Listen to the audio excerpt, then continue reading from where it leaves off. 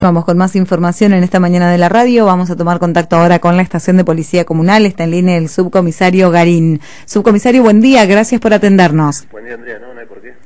Eh, subcomisario, ¿cuáles han sido las actuaciones del personal en el transcurso del fin de semana? Bueno, tuvimos registrado a partir del viernes un hurto denunciado por Alonso Diego Gastón. Él manifiesta en su denuncia, constata eh, de su camión que tenía estación en calle eh, Gorostiaga 970, un Mercedes-Benz la sustracción de una batería marca William. Este hecho se dio sin violencia, o sea que no, no, ejerció ningún tipo de violencia para sustraerla, por eso se caracterizó hurto.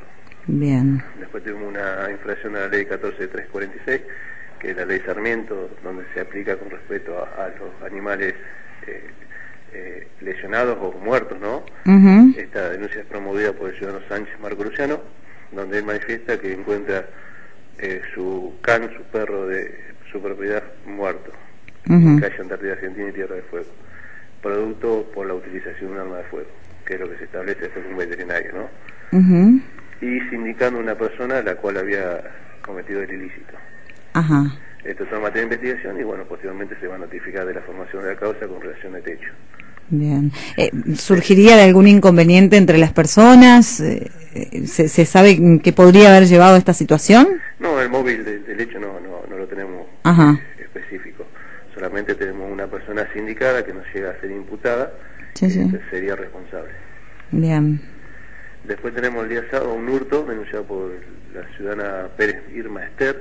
Ella manifiesta que entre el 2 de, del 7, entre 16.30 y 20.30, ignoraba su ley de una finca de su propiedad ubicada en Mármol 375, eh, un televisor LED de 24 pulgadas marca Noblex como también una cartera, la cual posee en su interior eh, documentación personal de la denunciante.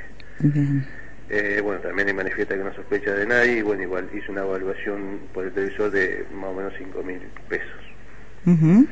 Después tuvimos una lesión de leve por accidente, caracterizada de ese modo, 8-12, por una colisión en la avenida Sastre entre Río Oro y Mitre, protagonizada por un Chevrolet Corsa, conducido por el ciudadano Raskin Andrés, el cual circulaba por la Sastre, por la avenida Sastre hacia Rivarola.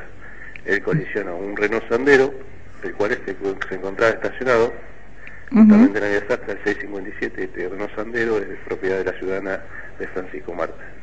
A raíz de la colisión, Raskin presenta lesiones de carácter leve, salvo complicaciones, con unos politraumatismos varios en todo su cuerpo, ¿no? Esto hace que sea hospitalizado. Bien. Eh, ¿Se descompensó esta persona? ¿Se pudo saber qué fue lo que lo llevó a, colisionar con un auto estacionado? Y hipotéticamente nosotros tenemos esa, esa versión que se ha descompensado por, eh, una vida alcohólica o ah. demás, ¿no? Y producto, de eso se, se colisiona el otro auto estacionado. Eh, bueno, pero eso se va a dar y se va a determinar de acuerdo al peritaje, extracción sanguínea y demás pericia que, lleva la causa, ¿no? Bien. Bueno, después continuando el día domingo, estuvo tranquilo. El día domingo lo único que tuvimos registrado dos aprehensiones, una femenina y un, y un masculino, los cuales ocasionaron distintos disturbios en la vida pública, en estado de ebriedad. Y, bueno, todo por el hecho ese fueron eh, aprendidos y alojados en esta seccional, ya recuperando su libertad en, el día de la fecha. ¿Son personas mayores de edad? Sí, digamos, mayores de edad. Bien. Eso fue todo. Eso es todo. Subcomisario, como siempre, le agradecemos muchísimo por la información. No, nada de qué, buen día.